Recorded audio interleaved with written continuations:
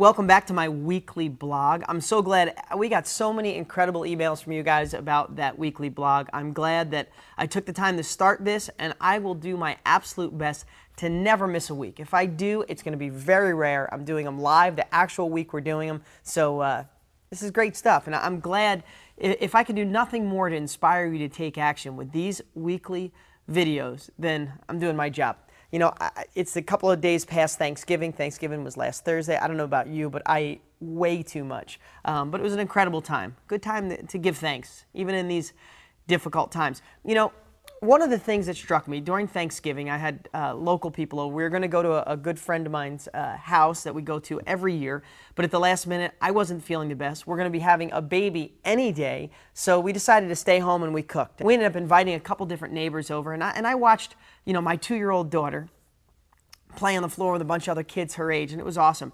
And while I was sitting there at the end of eating way too much, and my second helping, and way too much pie, pumpkin pie, pecan pie, loads of whipped cream, ice cream, just same thing we all do. I was sitting watching my daughter work on a task. She's two years old, and, and you know how you ramp up with just a puzzle. If you have children, or you have nieces or nephews or relatives, you know, little kids, they play with different puzzles that fit their age. And you know, when they're real little, they just have big square things fitting in the big square hole, that types of things, those types of things. And I was watching my daughter work on a puzzle that was probably a year ahead of her time. I'm not saying going here to tell you she's a genius, even though I believe so and she's gorgeous and smart. But when I watched her, she went at that puzzle nonstop and it was difficult and she was turning and turning and she just sat there for like an hour just going at it. And you know what it did? It really made me think about our childlike enthusiasm and how we lose it as adults. You know, she doesn't know the definition of it not working. When it was time for her to walk, she'd fall down a whole bunch of times and bump her butt, but she'd get up and try again. When she was doing this puzzle, she kept messing up, but she just kept trying and kept trying, and she got it. She definitely got it. And I think life wears us down a little bit, doesn't it? Sometimes we, you know, we try something and, and people around us say it's not going to work, or we see something on TV and we get, you know, a little judgment in our head, or, or we, we look at, you know, what if it doesn't work and it fails, and we give up before we go all the way through.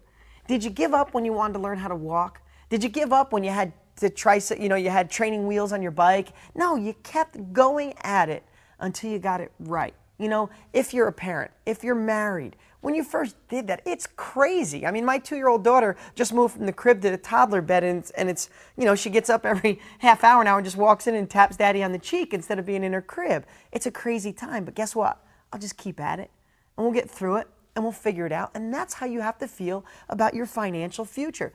Getting into real estate might be scary. But you know it works. It works for so many people at deangraziosi.com. It's allowed me to be a millionaire starting with nothing and a multimillionaire and, and all that stuff. But you see the successful people at this very site you're on changing their lives. And it doesn't have to be any different from you. It doesn't have to be any different for you. What, you, what needs to be different, though, is not letting your outside world or your years of being beat up allow you to give up and lose that childlike enthusiasm. You need to just go for it. So that's my message today. Go for it like a two year old, like, like a young kid that's learning to walk or riding a bike. Don't give up and, and don't look at failure as the worst thing in the world. Listen, with the strategies we teach you, like we talked about last week, finding deals at up to 50% off, locking them up, possibly assigning them, and we're going to talk about assignments next week, but possibly assigning them to someone else, there's no downside. The only downside is a little bit of your time. You've wasted time on some of the worst things in your life. I know you have because I have too. Stop wasting your time on certain things and putting them, put them towards your financial security and your future in real estate. You know, last week we talked about uh, getting a realtor to help you make a whole bunch of offers at a huge discount. And I saw one of the posts where someone said their realtor wouldn't do that. My suggestion is get a new realtor because in today's world, things are so tight we want aggressive people that want to make money. I'm not saying take advantage of a realtor, but find someone who's open to try new things. A realtor doesn't have to type up 25 offers. They could pick up the phone or pop an email and do 25 offers in 15 or 20 minutes. Find someone willing to do that. I'm going to give you one last quick story. I'm writing a new book. It's almost done. I'm literally going to be done in the next week. I have an editor. Every time I write a hunk, I ship it off to the editor and they clean it up. Well, he's reading my stuff, getting so excited. He goes out and he's going to want he wants to make money in real estate on the side besides being an editor. And he finds a realtor and asks him if he'll do the 25 to 1 ratio you know try 25 offers to get one. And the realtor sat there and told him that it'll never work it doesn't work and he's not trying it. But in the next breath he told him how he's not making money anymore and whose fault it is and how the government is screwing him for lack of a better word.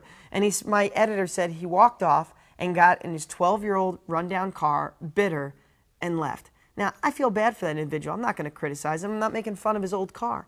But he's so afraid, that particular person was so afraid of change that he didn't embrace the opportunity to make a whole bunch of money. The students that have found a realtor that's doing this for them are making incredible money in an area where other people aren't. So let me just leave it at that as saying change is difficult. You know it personally. If a realtor doesn't want to make those offers, explain why it could work. Ask them to just try it once. And if they don't want to do it, find another realtor. I'll see you next week.